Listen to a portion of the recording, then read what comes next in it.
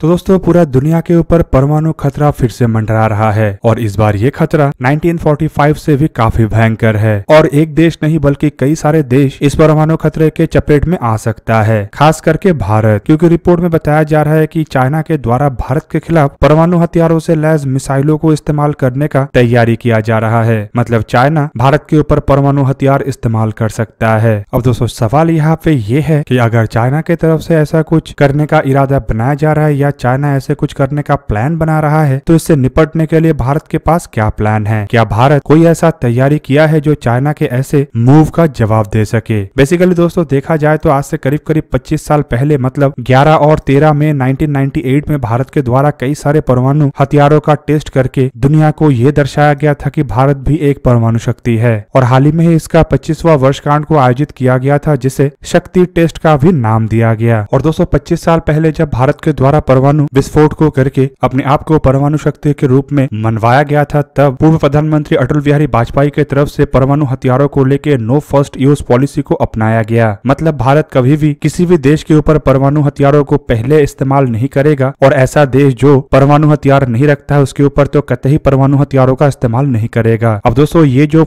No first use policy है, ये एक तरीके से देखा जाए तो तब के समय में भारत के लिए सही था, लेकिन अब के समय में कई सारे एक्सपर्टों का मानना है की नो फ़र्स्ट पॉलिसी भारत के लिए सही नहीं है, क्योंकि भारत के पड़ोस में दो परमाणु शक्ति संपूर्ण देश, पाकिस्तान और चाइना, लगातार भारत के ज़मीन को हथियाने का प्रयास कर रहा है और किसी भी वक्त दोनों देश मिलकर एकत्रित रूप में भारत के खिलाफ जंग छेड़ सकता है। दोस्तों, ऐसे में परमाणु पॉलिसी को बदलने को लेकर कई बार सवाल उठ चुका है और प्रधानमंत्री नरेंद्र मोदी जब साल 2014 में इलेक्शन जीत के पहली बार भारत के प्रधानमंत्री बने थे, तब भी घोषणा किया गया था कि गवर्नमेंट के द्वारा नो फ़र्स्ट यूज़ पॉलिसी या फिर कहे तो परमाणु हथियारों के जो पॉलिसी है उसे रिव्यू किया जाएगा। पर नौ साल गुजरने के बावजूद अब तक इसे लेके कोई भी रिव्यू नहीं हुआ है। हालाँकि क्यों नहीं हुआ है, इसके बारे में फ़िलहाल तो कोई ऐसा जानकारी नहीं दिया गया। या फिर हो सकता है कि इसे रिव्यू किया गया हो, लेकिन इसका जानकारी पब्लिकली नहीं दिया गया। अब दोस्तों, भारत के जो परमाणु डॉक्ट्रेन है, उसे लेके एक ड्राफ्ट भी बनाया गया था, और इस ड्राफ्ट में कई सारे पॉइंटों का ज़िक्र है। अब दोस्तों, इस पॉइंटों में सबसे महत्वपूर्ण ये है कि जब तक पूरा दुनिया परमाणु हथियारों से मुक्त नहीं हो जाता है, तब तक भारत एक जिम्मेदार पूर्ण परमाणु शक्ति बना रहेगा। मतलब पूरा दुनिया अगर अपने आप को परमाणु शक्ति से फ्री कर लेता है तो भारत भी परमाणु शक्तियों को छोड़ देगा। इसके अलावा तब तक भारत एक क्रेडिबल मिनिमम डिटरेंस को बिल्ड भी करेगा और उसे मेंटेन भी करेगा। इंडिया कभी भी ऐसे किसी देश के ऊपर परमाणु हथियारों का इस्तेमाल नहीं करेगा जो परमाणु हथियार संपूर्ण ना हो। तो भारत अपने नो फ़र्स्ट यूज़ पॉलिसी के अंतर्गत ये भी बताया कि भारत कभी भी किसी भी देश के ऊपर पहली बार परमाणु हमला नहीं करेगा। पर अगर भारत के क्षेत्र के ऊपर या फिर दुनिया के किसी भी हिस्से में इंडियन आर्मी और आर्म फोर्सेस के ऊपर परमाणु हथियारों से हमला होता है तो भारत रिएक्शन के रूप में जो पहला हमला करेगा वो भयंकर होगा और दुश्मन को भयंकर परिमाण में नुकसान पहुँचाने के लिए ये हमला होगा। दोस्तों, इसके अलावा इंडिया या इंडियन सैनिक बलों के ऊपर दुनिया के किसी भी हिस्से में अगर किसी भी तरीके का बायोलॉजिकल या केमिकल हथियारों से भी हमला होता है तो इसका जवाब भारत की तरफ़ से परमाणु हथियारों से दिया जाएगा। और इसके अलावा भारत कंटिन्यू परमाणु हथियार रिलेटेड टेक्नोलॉजी और उसे डिलीवर करने के लिए जो मिसाइलों का टेक्नोलॉजी है, उसके ऊपर भी काम करता रहेगा। अब दोस्तों, भारत के नो फ़र्स्ट यूज़ को लेकर कई सारे एक्सपर्टों की तरफ़ से कई बार सवाल उठाया जा चुका है, जिनमें बताया जाता है कि फ़िलहाल दुनिया में ऐसा कोई भी देश नहीं है जो परमाणु हथियार संपूर्ण हो और नो फ़र्स्ट यूज़ के पॉलिसी को अपना रहा हो। चाहे अमेरिका हो, यूरोप के देश मतलब ब्रिटेन और फ्रांस हो, वो भी नो फ़र्स्ट यूज़ पॉलिसी को नहीं अपनाते हैं। मतलब इन देशों के ऊपर अगर किसी भी तरीके का हमला होता है, जिसका जवाब ये नहीं दे पा रहे हो, और वो हमला अगर परमाणु हमला नहीं भी होता है, तब भी ये परमाणु हमले से जवाब दे सकते हैं। जबकि दूसरी तरफ़ रशिया की तरफ़ से भी नो फ़र्स्ट यूज़ पॉलिसी को अपनाया गया था, लेकिन लंबे समय पहले रशिया की तरफ़ से भी इस पॉलिसी को विड्रॉल कर लिया गया, और बाकी रहा चाइना तो चाइना हमेशा से ही नो फ़र्स्ट यूज़ पॉलिसी के ऊपर साइलेंट रहता है। मतलब दुनिया में ऐसा कोई देश नहीं है जो ये मानता हो कि उसके पास परमाणु हथियार होगा और पहले कभी वो परमाणु हथियारों से हमला नहीं करेगा। जबकि दोस्तों, भारत के पड़ोस में पाकिस्तान जैसे देश, ये तो संपूर्ण रूप से गैर जिम्मेदार पूर्ण देश है जो आए दिन परमाणु हथियारों को दागने का धमकी देता रहता है। चाहे इसराइल हो, भारत हो इवन अब तो छोटे छोटे देशों के ऊपर भी परमाणु हथियारों को इस्तेमाल करने का धमकी पाकिस्तान देता है। पाकिस्तान के परमाणु हथियार असुरक्षित हथियार है और पाकिस्तान के परमाणु हथियारों को कंट्रोल करने वाले लोग गैर जिम्मेदार पूर्ण है। इसी कारण पाकिस्तान को तो जिम्मेदार पूर्ण परमाणु शक्ति के बीच में माना भी नहीं जाता है। अब दोस्तों, जितने भी जिम्मेदार पूर्ण परमाणु शक्ति संपूर्ण देश है, कोई भी ऐसा देश नहीं है जो नो फ़र्स्ट यूज़ पॉलिसी को अपना रहा हो। तो ऐसे में भारत को क्यों अपनाना चाहिए, इसका कोई जवाब नहीं बनता। हालाँकि दोस्तों, जब 1998 में भारत की तरफ़ से परमाणु टेस्ट किया गया था, तब हालात कुछ अलग था। तब पूरा वेस्टर्न ब्लॉक की तरफ़ से भारत के ऊपर परमाणु टेस्ट के लिए प्रतिबंध लगाया गया था और दोस्तों, इन्हीं प्रतिबंधों के कारण भारत को नो फ़र्स्ट यूज़ जैसे पॉलिसी पॉलिसी को अपनाना पड़ा ताकि ये प्रतिबंध ढीला हो और भारत की इकोनॉमी के ऊपर बुरा असर ना पड़े। पर अब दोस्तों सिचुएशन संपूर्ण रूप से बदल चुका है और भारत के लिए खतरा बढ़ भी चुका है। दोस्तों, एक समय तक भारत के लिए केवल मात्र पाकिस्तान को ही बड़े खतरे के रूप में देखा जाता था, लेकिन फ़िलहाल आधिकारिक रूप में चाइना को भी एक बड़े खतरे के रूप में देखा जाता है। हालाँकि चाइना हमेशा से ही भारत के लिए खतरा था, लेकिन भारत के अंदर इसे खतरा नहीं माना जाता था। अब दोस्तों, जिस तरीके से चाइना भारत के ज़मीन का भूखा बना हुआ है और भारत के अलग अलग क्षेत्रों को कब्जा करने के लिए मंसूबा बनाता रहता है, उसे देखते हुए यही लग रहा है कि किसी भी वक्त चाइना भारत के खिलाफ लड़ाई छेड़ सकता है। चाइना भारत के अरुणाचल प्रदेश को भी चाहता है, सिक्किम, हिमाचल, लद्दाख जैसे क्षेत्र को भी चाहता है। और दोस्तों, चाइना के ये ज़मीन के भूख के कारण साल 2020 में भारत और चाइना के बीच में एक झड़प भी हुआ और उस दरमियान चाइना को ये महसूस हो गया कि दादागिरी के बलबूते पे या कन्वेंशनल हथियारों के बलबूते पे तो चाइना भारत के ज़मीन को हथियार नहीं सकता। और अगर हथियारों के बलबूते पे चाइना ये ज़मीन हथियारने का प्रयास करता है तो एक बहुत बड़ा लड़ाई होगा और इस लड़ाई में चाइना को ही खामियाजा भुगतना पड़ेगा। अब ऐसे में दोस्तों, चाइना, पाकिस्तान दोनों एकत्रित रूप में भारत के खिलाफ लड़ाई छेड़ सकता है और आप लोगों को पता होगा कि दोनों देशों को एकत्रित रूप में काउंटर करने के लिए भारत को कई तरीके के शक्ति का आवश्यकता है और फ़िलहाल इसमें कई सारे क्षेत्र में भारत कमज़ोर भी है, खास करके एयरफोर्स के मामले में, क्योंकि भारत को दो फ्रंट लड़ाई के लिए बयालीस क्वाड्रन एयरक्राफ्टों का आवश्यकता चाहिए था, लेकिन भारत के पास तीस क्वाड्रन एयरक्राफ्ट के आसपास है। हालाँकि तय समय पे अगर पुराने एयरक्राफ्ट रिटायर नहीं किया जाता है और नए एयरक्राफ्टों को भरा नहीं जाता है तो शायद ये संख्या आने वाले समय में और कम हो जाए। मतलब चाइना अगर भारत के खिलाफ लड़ाई छेड़ता है और दूसरी तरफ़ पाकिस्तान भी चाइना के मदद के लिए लड़ाई छेड़ता है तो भारत के लिए ये दोनों देशों को एक साथ काउंटर करना मुश्किल हो सकता है। और ऐसे में दोस्तों, परमाणु हथियार ही एक ऐसा ज़रिया है जो भारत के ज़मीन को सुरक्षित रख सकेगा और इन दोनों देशों के एग्रेशन को काउंटर कर सकेगा। अब दोस्तों, यहाँ पे परमाणु हथियारों का मतलब ये नहीं कि भारत परमाणु हथियारों का इस्तेमाल करे। भारत अगर अपने नो फ़र्स्ट यूज़ पॉलिसी को ही बदल दे तो इन दोनों देशों के तरफ़ से भारत के खिलाफ लड़ाई छेड़ने का संभावना घट जाएगा क्योंकि इन दोनों देशों को तब ये महसूस हो जाएगा कि अगर लड़ाई छेड़ते हुए ये रेड लाइन को क्रॉस कर लेता है तो परमाणु हमला हो सकता है और ये दोनों देश भी संपूर्ण रूप से तबाह हो सकते हैं। अब दोस्तों, भारत को भी अपने नो फ़र्स्ट यूज़ पॉलिसी को बदलने का इसलिए भी ज़रूरत है क्योंकि पाकिस्तान जैसे गैर जिम्मेदार पूर्ण देश की तरफ़ से लगातार भारत के ऊपर परमाणु हमला करने का धमकी दिया जाता है। दूसरी तरफ़ अगर हम चाइना को देखें तो साल 2020 के बाद से अलग अलग खबरों में इस बात का ज़िक्र किया गया कि कैसे चाइना भारत के साथ लगे हुए बॉर्डर के नज़दीक अपने बड़े हथियारों को तैनात कर रहा है और परमाणु हथियार से लैज एयरक्राफ्ट को और बॉम्बर एयरक्राफ्ट को डिप्लॉय कर रहा है। हालाँकि ये भी खबर आ रहा है कि चाइना कुछ नए मिसाइल साइलोस को भी निर्माण कर रहा है जो कि परमाणु हथियारों को दागने वाले मिसाइलों को होल्ड कर सकता है। और दोस्तों, खबर तो ये भी है कि चाइना को इस बात का डर है कि भारत शायद अपने नो फ़र्स्ट यूज़ पॉलिसी को बदल दे और इस डर के कारण चाइना की तरफ़ से भारत के साथ लगे हुए बॉर्डर के नज़दीक मिसाइल मतलब परमाणु हथियारों को दाग पाने वाले मिसाइलों के भी डिप्लॉयमेंट का खबर आ रहा है। अब दोस्तों, इन सभी चीज़ों से अलग, अगर चाइना के असल डर को देखा जाए तो वो है भारत के अग्नि सीरीज़ के मिसाइल। लगातार भारत की तरफ़ से जिस तरीके से एक के बाद एक अग्नि सीरीज़ के बेहतरीन मिसाइलों का डेवलपमेंट किया जा रहा है और जिस तरीके से हाल ही में भारत के द्वारा अग्नि फाइव मिसाइलों के रेंज को एक्सटेंड किया गया, उसके बाद चाइना काफ़ी अधिक परेशान है और इसी कारण भारत के मिसाइल परीक्षण के जानकारी को हासिल करने के लिए चाइना इतना उतावला हुआ पड़ा है की इंडियन ओशन में लगातार अपने स्पाई शिप को भेज रहा है और कोको आइलैंड में मतलब म्यांमार के आइलैंड में भी मिसाइलों के जाँच पड़ताल को जांचने के लिए अपने ठिकाना बनाने का काम कर रहा है। अब ऐसे में दोस्तों, चाइना को यह डर है कि भारत अगर अपने मिसाइलों को खुफिया तरीके से और लॉन्ग रेंज का बना लेता है तो चाइना के सिक्योरिटी और सेफ्टी संपूर्ण रूप से कॉम्प्रोमाइज हो सकता है और शायद इसी कारण की वजह से चाइना के द्वारा भारत के साथ लगे हुए बॉर्डर के नज़दीक परमाणु हथियार संपूर्ण मिसाइलों को डिप्लॉय करने का बात उठ रहा है।